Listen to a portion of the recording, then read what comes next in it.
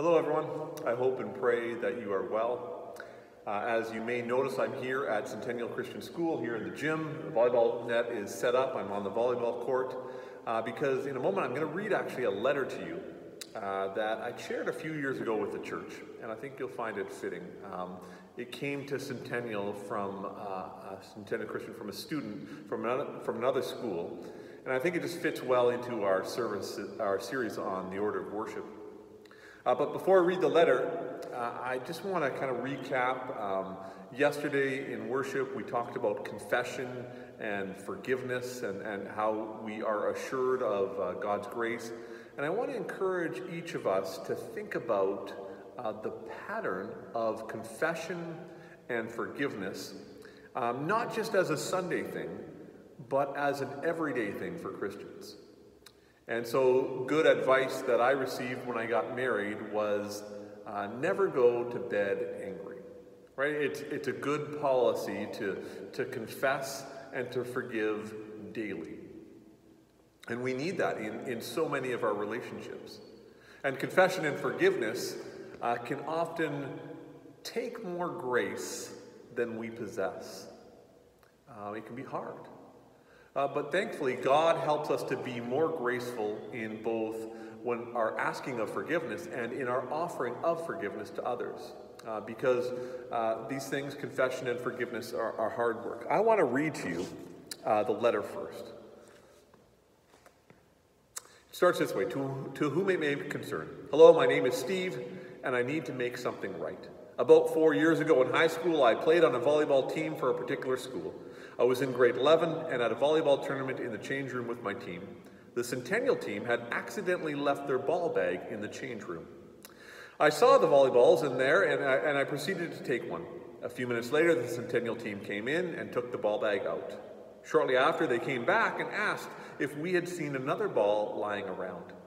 I lied to them and told them that we hadn't, and for lying, I'm sorry. I kept the ball with me and still have it to this day. When I think about what I did, I'm ashamed of myself. I feel the only way to make this right is to apologize and reimburse the athletic department or the team for the ball. I've enclosed a check for the amount of that a new ball currently costs. I looked up the price on the website and it should cover the cost for a new ball. The check's in American funds and I've since, since I've since moved down to the States. I'm sorry again for the theft and the dishonesty and would appreciate your forgiveness in this matter. If a new ball for the senior team is not needed, I'll trust you to direct the money where it may best be used. Sincerely, Steve. And of course, uh, to me, that's a, a, great example of confession and, and seeking to make amends. Now, I have no idea what happened in this young man's life um, that prompted the letter, right? You know, maybe it was just nagging guilt that accumulated over the years, or or maybe he had some sort of spiritual awakening, or uh, maybe he received a gift of grace in his own life. Uh, regardless, it's, it's obvious that, that confession and forgiveness are hard work, but we know that they're also necessary work. And when we include confession and forgiveness in our daily pattern, uh, just as we include them in our weekly worship, we begin to look a little bit more like the God that we worship.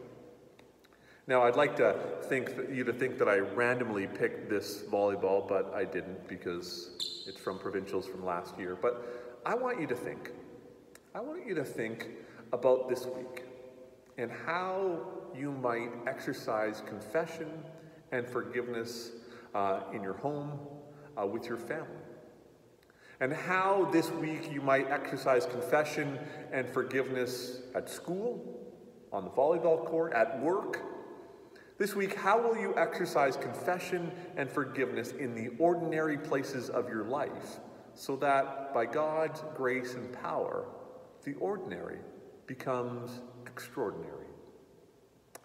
The peace of Christ be with you all.